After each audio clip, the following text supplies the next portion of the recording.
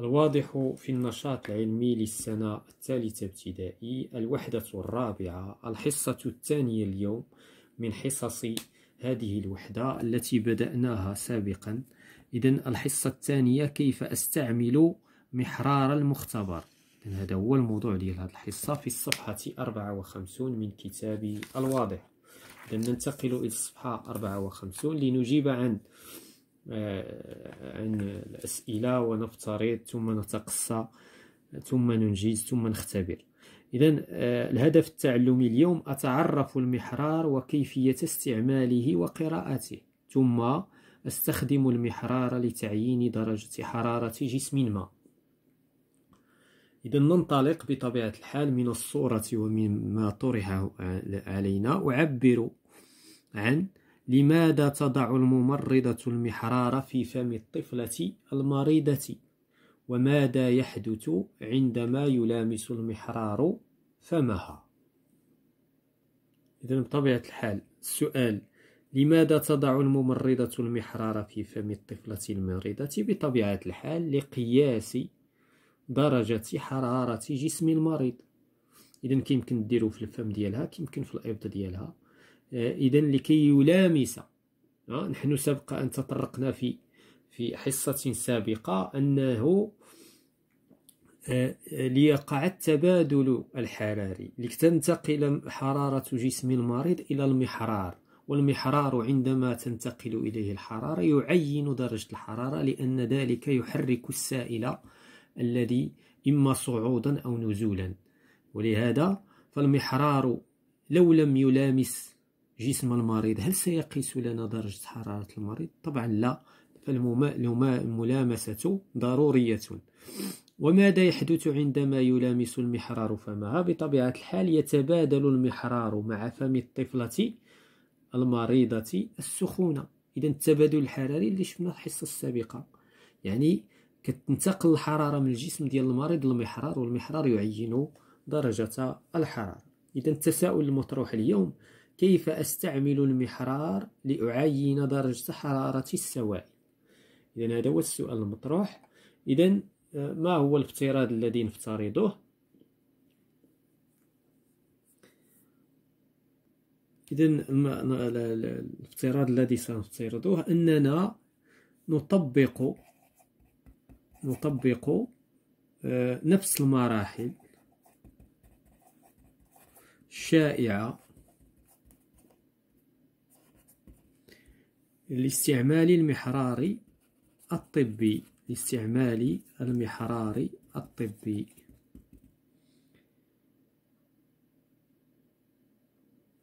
لاستخدام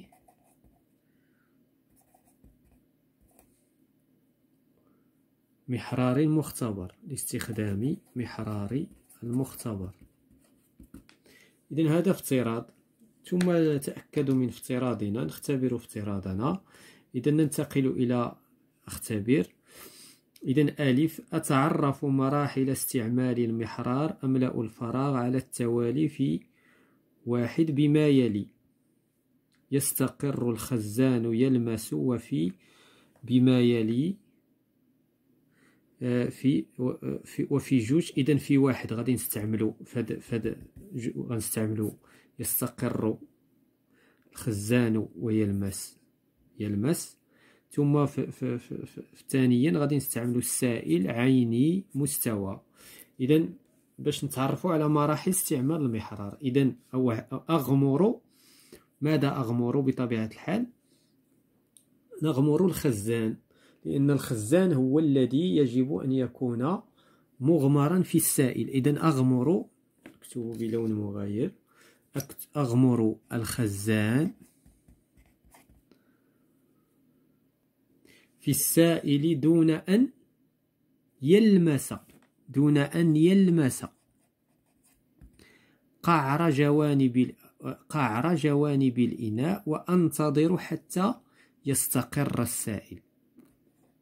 ماذا يعني هذا الشيء يعني أننا فاش غادي نحطوا الخزان غادي نغمروا الخزان الخزان ما خصوش يقيس الإناء لا على المستوى الجوانب ولا على مستوى القعر.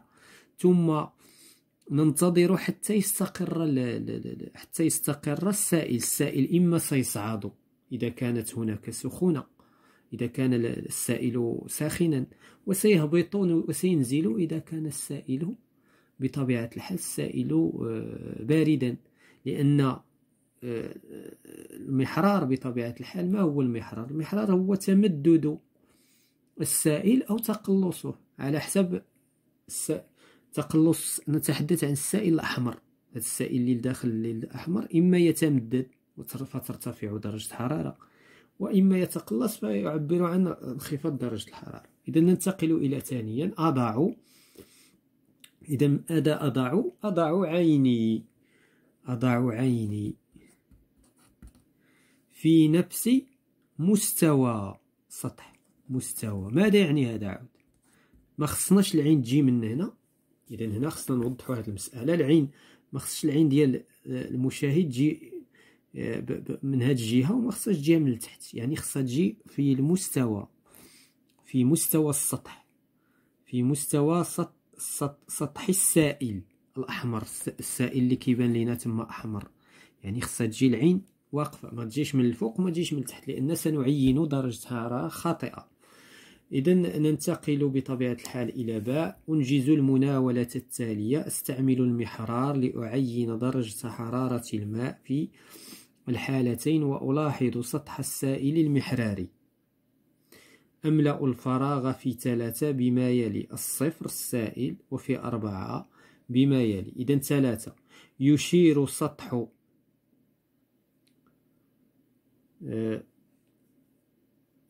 إذا سطح السائل يشير سطح السائل إلى درجة الحرارة فوق الصفر.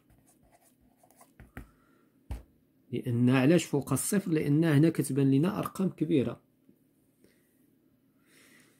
هنايا في في, في, في, في رابعا يشير سطح السائل المحراري